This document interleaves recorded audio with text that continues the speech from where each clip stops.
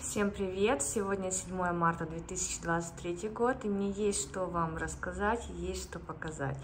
В этом э, видеообзоре я буду рассказывать, какие произошли изменения у Pills, чем они меня решили порадовать. Немножко расскажу про э, лапидарию. Э, постараюсь ответить на два вопроса, которые мне задавали в комментариях, обсудить эти вопросы. И остальное время буду рассказывать, какие изменения произошли у литопсов э, и их э, показывать. Так, пожалуй, начнем. Вот у меня парочка, муж и жена, я их так называю. Плейспилос зелененький, плейспилос фиолетовый. Вот сидели они себе, сидели, и бац, в один прекрасный момент, а точнее 20, э, где-то 6-28 а, февраля этого года, я заметила, как э, у этого плейспилуса открылась щель. Вот эти листочки, они раздвинулись. Также было замечено а, такое изменение и у этого плейспилуса. Как я знаю, как я читала, это хороший знак, который обозначает, что цветок собирается цвести. Когда я заглянула вовнутрь, я обнаружила вот эту красоту. Вот внутри формируется бутон. Ну вот к 8 марта этот красавчик решил меня порадовать. Понятное дело, что завтра он не успеет еще, к завтрашнему дню раскрыться он не успеет, но тем не менее а, настроение у меня уже праздничное и весеннее. По идее, должен цвести вот таким вот э, цветочком. Очень похож на этот самодельный цветок. Тоже цвет на этикетке был заявлен оранжевый. Посмотрим, когда раскроется, соответствует ли реальности или нет. То есть себе сделала такую, как напоминалочку, что этот Players Pills будет свести оранжевым таким цветочком, ромашечкой. У его жены, я ее так называю, фиолетовая, это красотка, Royal Flash. А, то же самое, такие же изменения. Открылась эта щель, но эта паразитка меня не хочет радовать. Видите, там пустота. Щель есть, а бутона нету. Не знаю, или это она меня решила подразнить, или еще нужно подождать немножко, без понятия. У меня только недавно появились эти цветы, поэтому я пока только наблюдаю и ничего пока не могу рассказать. Посмотрим. Так, следующий э, цветок, это тоже новинка моя лапидария, тоже она цветет, э, как и плеоспилусы, как литопсы, плюс-минус у них у всех одинаковые цветочки, напоминающие ромашку. Этот э, цветок не собирается цвести еще.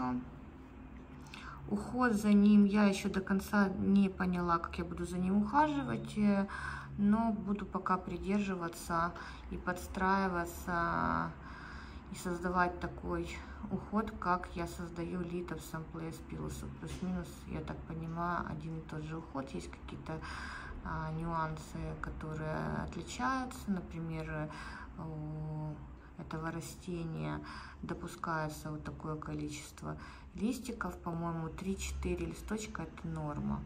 Если у литопса в идеале и плюс-пилоса в идеале, чтобы было 2 листочка, то у этих растений допускается чуть больше.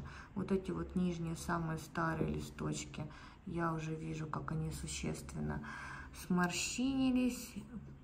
Даже вон начинает отсыхать потихоньку у основания.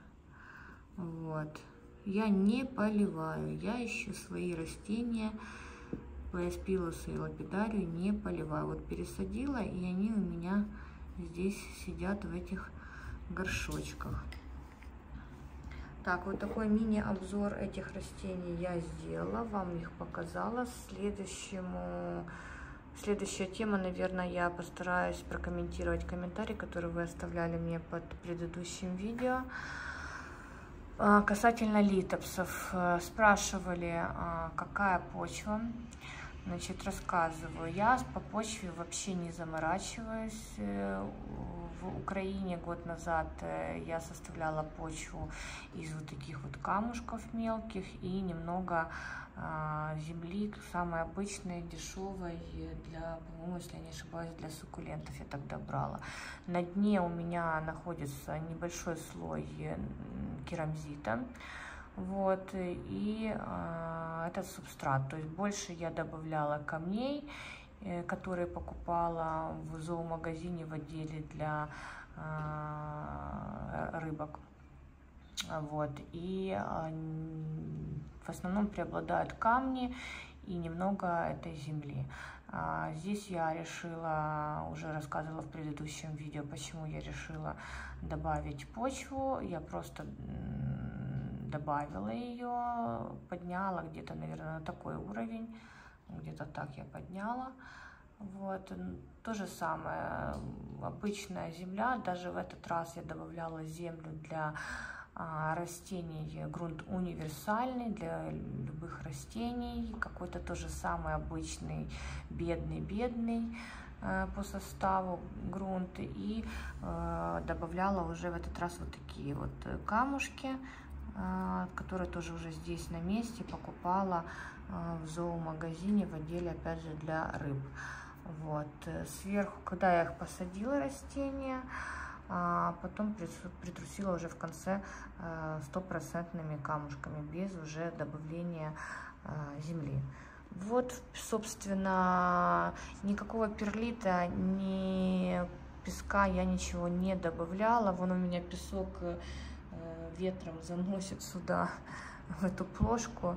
Э, нормально они себя отлично чувствуют. Даже если был бы песок, э, я бы добавила песок, перлит. Э, я считаю, что это не обязательно. Вот.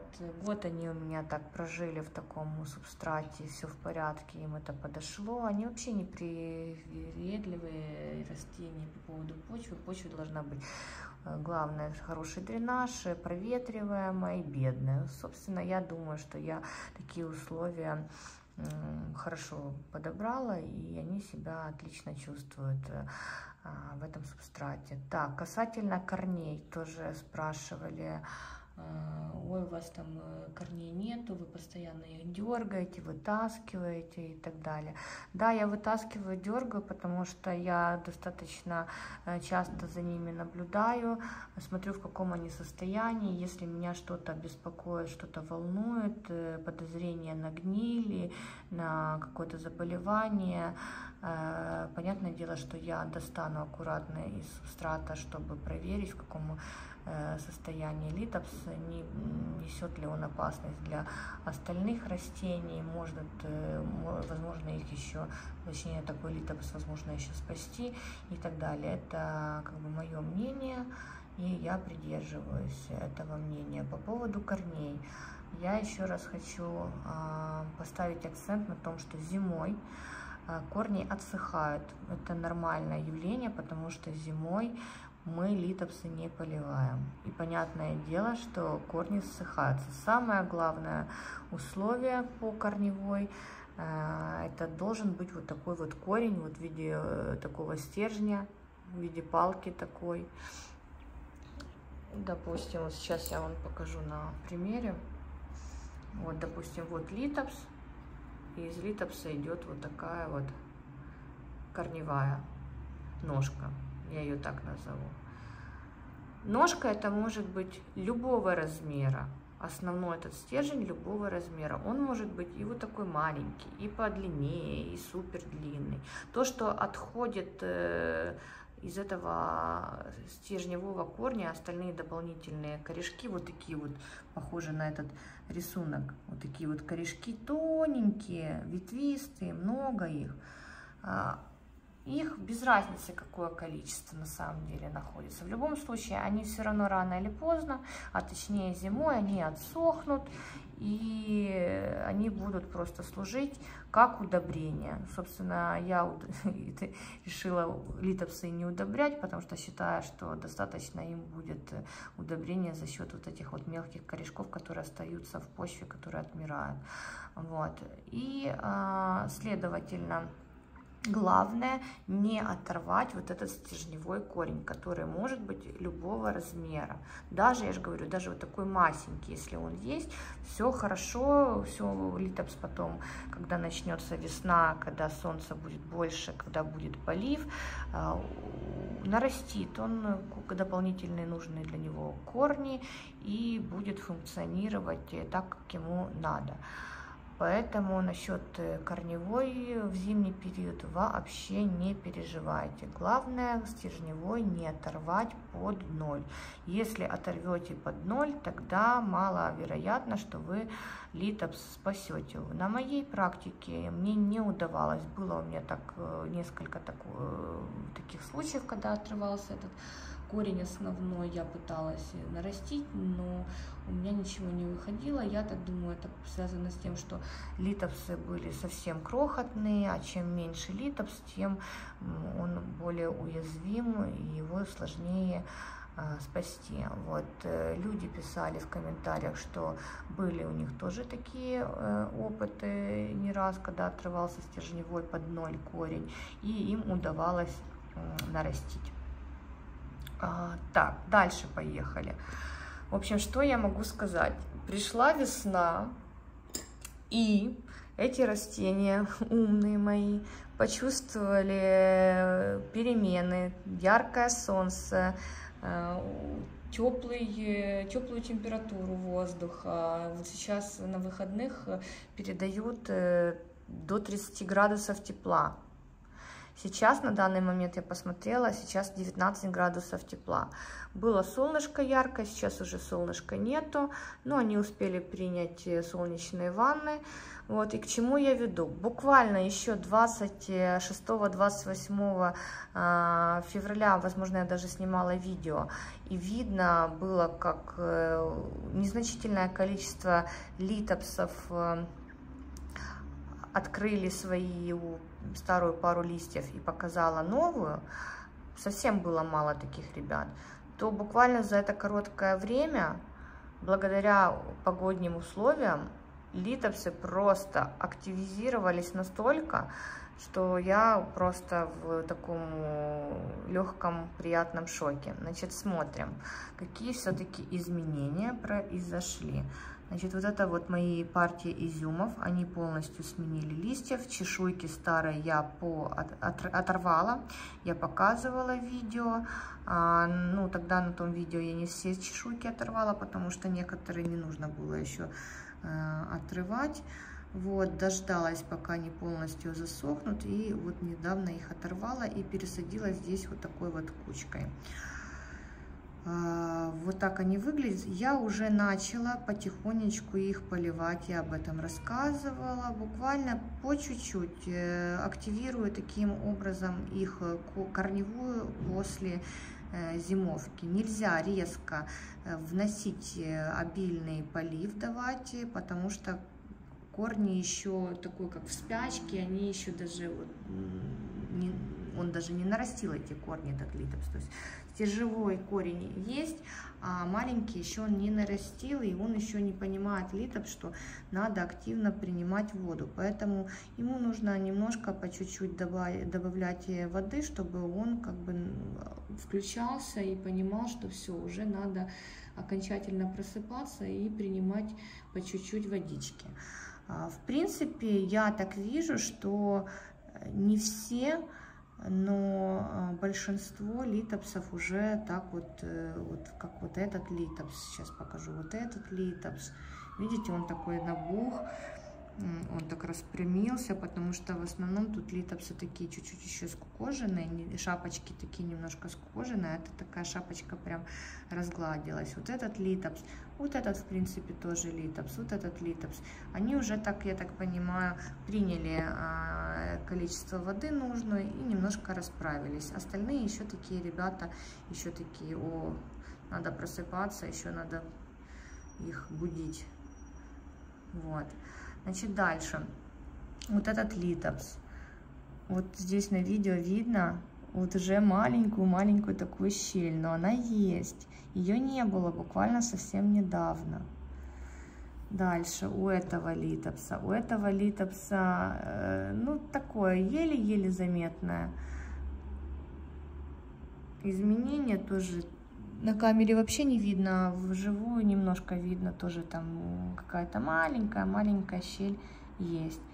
Этот красавчик же, помните, он вообще леопардик мой. Он сидел, плотно-плотно зажатые были листья. Вот красавчик, тоже уже как хорошо показал. Вот этот вот тугодумчик, ну он из последних всегда линяет. Эти ребята, все четыре уже показывают, если присмотреться туда, заглянуть в эти дырочки, видны новые листочки. Даже эти ребята, ну вот, вот у этого, этот, э, он, ну не видно, не видно, я, да, еще не вижу новую пару, но у этих двух есть уже новая пара, их, она видна. Веснущатый мой еще держится, не раскрывается. Так, здесь что? Ага, здесь. Ну, вот эта реанимашка моя, в принципе, все хорошо. Э, на улучшение он увеличился в размере. Коричневенький такой он. А, ухудшений, слава богу, нет у него это меня радует. У его близнеца, что я заметила, изменения какие. Еще мягче стало тело, такое вообще. Вот эта вот коробочка уже не так плотно сидит. Она уже вот подвижная такая. Вот, вот здесь вот кусочек. Видите, такая вот здесь вот стержень от э, цветка предыдущего. Я его убирать не буду. Уже уберу, когда полностью он сменит пару листьев старую. Так, когда здесь я нажимаю, вот я чувствую, что пара листьев есть. Так хорошо она прощупывается. Уплотнение такое. Но я его раскрывать не буду. Это он сам сделает. Ему помогать сейчас не надо, я считаю. Так, дальше здесь тоже щель открывается, пара видна новых листьев. У этих тоже. Вот этот еще такой. Вот эта выскочка моя. Я, если вы заметили, я же пересадила цветы. Я э, сгруппировала их как-то по семейству, по цвету, плюс-минус а, кучки такие создала. Вот, поэтому вот этот товарищ, это он у меня сидел вот с этой стороны как-то и был очень высокий. Поэтому эта новая пара листьев будет еще пробиваться, расти вверх. Возможно, я буду его осаживать раскрывать, чтобы он не был такой вот э, выскочкой, чтобы новая пара листьев не была выскочкой. Буду осаживать его. Я просто, возможно, когда прощупаю, просто даже не, прощу, не могу прощупать новую пару листьев, она где-то еще очень там внизу далеко. Когда она чуть выше поднимется, будет хорошее уже такое уплотнение, возможно, я раскрою э, эти листочки и дам ему возможность выйти раньше наружу, чтобы листья новые опять не росли вверх, вверх, вверх, и не было у меня новой выскочки. Ну, посмотрим. Значит, по поводу этого, здесь у меня щель, потому что был там э, цветок, Он отсушился, я его удалила и жду, когда затянется эта щель. Она потихоньку затягивается. Вон сосед тоже показал листья новые. Вот этот малышек, я думала, честно говоря, что он будет медленней. Один из последних. Линять, но нет, он тоже уже показал. Этот еще такой сидит, но это тоже выскочка. Он пришел мне очень высокий, тоже будет долго. Листья у него будут долго подниматься наверх. Этот, ну этот, в принципе, по... Ой, блин, так классный. А, какой кайф. Хороший. Этот тоже классный, он будет тоже из последних э, линять. Не помню, как он там называется. Вот, и вот этот вот тоже. Это такие самые поздние полиньки. Этот будет картошка шоколадная, тоже очень долго линять, потому что он так напитался в влаге. Такой большой, огромный. Тут ему линять и линять. Какие изменения? Ну да, он еще мягче стал. Внутри вот эта вот коробочка тоже уже так не сильно плотно прилегает, тоже уже болтается. Так, поехали дальше.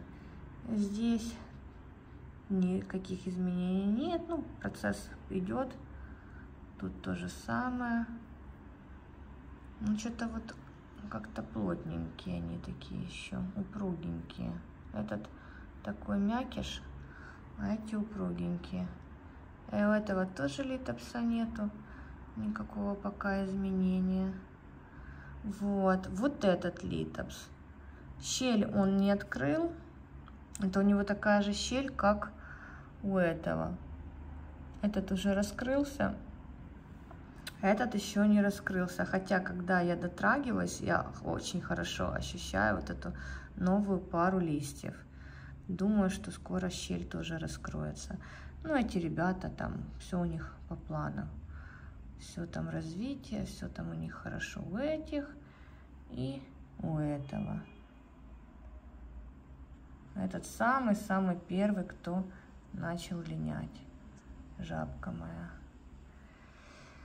Так, дальше, дальше. Ну, собственно, все.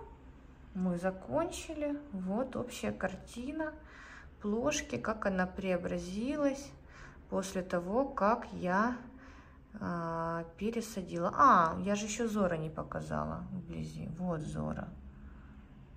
Зора тоже сравнительно недавно, он 26-28 я показывала, были плотно прилегали листья друг к другу. И вот солнышко вышло, и у нас уже виднеется новая пара листьев.